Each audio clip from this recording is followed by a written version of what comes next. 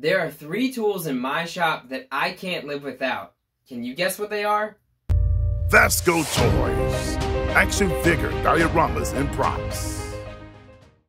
Now, I don't want to cause any confusion. These are not tools that I think everyone needs to succeed at making dioramas. These are the tools that I would replace in an instant if they happen to break.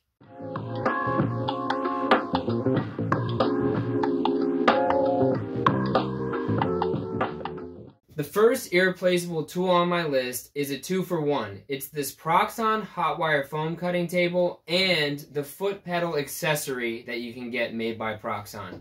Now, this tool is near and dear to my heart for two reasons. First, my wife got me each one of these tools as Christmas gifts the last few years. And number two, these tools were the first major upgrade tools that I ever got and it really allowed me to exponentially improve my diorama art by allowing me to have repeatable cutting of my XPS foam through the Proxxon. And then as an added enhancement, with the foot pedal, you can really control the heat of the uh, Proxxon as you're cutting the foam by cutting it on and off. So if you're cutting angles or you're cutting some odd shapes, the foot pedal really comes in handy because you don't have to have your finger on the on-off switch. You can just use the foot pedal to control if there's power coming through. It's also important to note that the guide by Shifting Lands really enhances the Proxxon. The original guide is not very good and sometimes can be frustrating.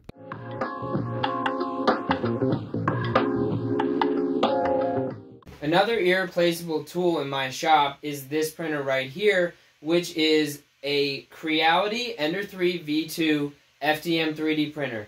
This is the second printer that I have in my shop, but this printer has a much larger bed than my original printer. I believe the first one was 180 millimeters by 180 millimeters, and this one's 235 by 235, which when you're working in diorama art is a large difference and allows me to have some bigger pieces printed, and some more intricate things printed than what I was able to do before. I do have some customizations on this printer, namely the print bed.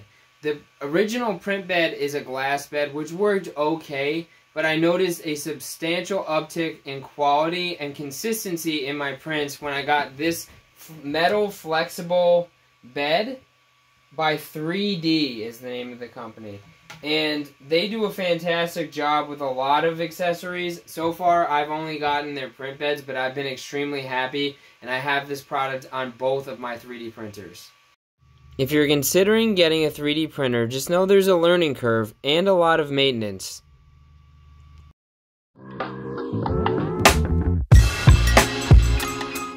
The third tool on my list is not as flashy or as expensive as the first two, but I actually use this tool on almost every single project that I work on, as opposed to the other two where I only am using them some of the time, which is my hot glue gun, a dual temperature hot glue gun, which has a hot temperature and a low temperature.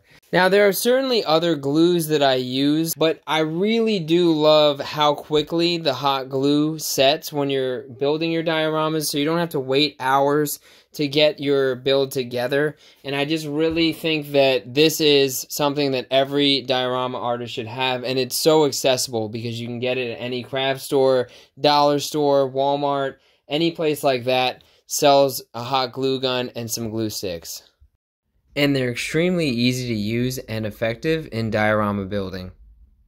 Thanks for watching this video. I'm curious, what do you think of my list? Do you agree? Do you disagree? What tools in your shop are irreplaceable? Let me know in the comments below. Otherwise, please like the video, subscribe to the channel, and we'll see you in the next episode.